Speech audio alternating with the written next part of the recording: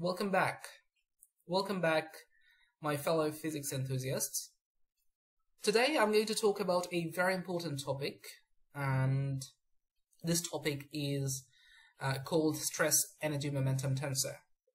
Perhaps you have called it stress tensor, perhaps you have called it energy momentum tensor, perhaps you have called it stress energy tensor, but all of it leads to the same thing, this object here, which is called the stress energy momentum tensor, or in short, SEM tensor. It's a very, very important topic. It comes up in various contexts. Uh, probably the earliest exposition to this uh, topic uh, took place in when you were studying electromagnetism, and there was the first time when you studied this tensor. If you haven't, uh, then in future courses you are very likely to face it. And I suggest uh, if you have taken advanced courses but you haven't seen stress energy momentum tensor, you should immediately dive into it, to get back to the textbooks, and explore this topic a little bit. So, in your study of differential geometry or while studying general relativity, you have perhaps came across the idea that uh, tensors can be thought of a machine. And uh, this time I'd like to invoke that idea once again. Uh, it would be enormously helpful for us if you utilize th those concepts uh, so that it makes things uh, a lot more intuitive. Uh, so, so obviously, like all tensors, the stress energy tensor, stress energy momentum tensor, or stress tensor, or just SEM tensor, uh, is linear. And it is a 0 to tensor. What does that mean? It means this tensor acts like a function or a machine. And this can have two inputs. So I'm writing two slots here. Uh, this is slot number one, slot one, and this is slot number two. And you can plug in two vectors into these slots, right? The first thing we recognize uh, about the stress tensor is that it is a linear machine, just like all other tensors, uh, with two slots. Uh, and in those two slots, you can plug in two different vectors. They can be the same, but uh, there has to be two vectors, right?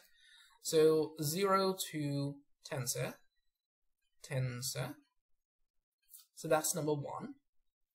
And the number two would be that these two slots are interchangeable and t does not depend on that. So not only this machine is a linear machine, but it is also symmetric.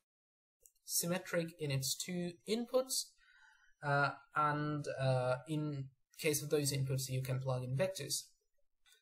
Then the next question would be, uh, what does this tensor give us?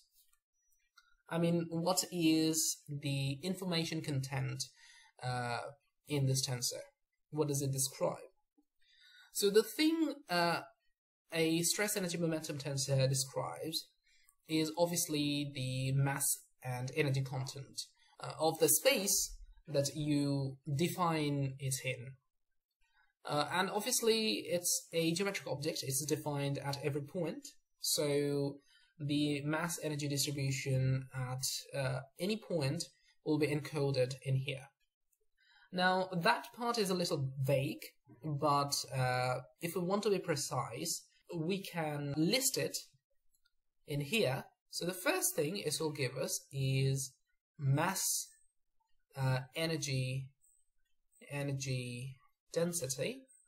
So as we know uh, from the context of relativity, uh, mass and energy are held onto the uh, same status.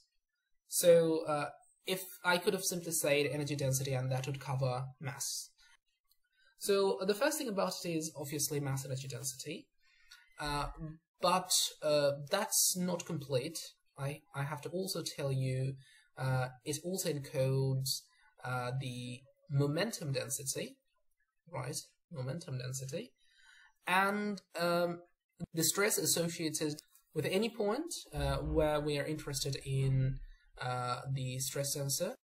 And uh, this is, in general, the content of the stress tensor. Now, importantly, since uh, we are emphasizing on uh, the relativistic aspects of the stress tensor, is that uh, the, all of these things that are mentioned here, the mass energy density, the momentum density, uh, the stress, uh, all of those are described uh, when we are talking about some sort of field. And we can talk about all sorts of fields, and we know that all the contents of the universe can be described in terms of some field. But one field it doesn't particularly talk about, and that is the gravitational field. Right? And that's, uh, in a sense, the essence of the general relativity. In the eyes of relativity, gravity isn't a separate force. I mean, it's its impact can be manifested by a force specifically which we call the tidal force but it's sort of a matter of nomenclature. Uh, the tidal force is the manifestation of gravity. It's not the source. It's not any field.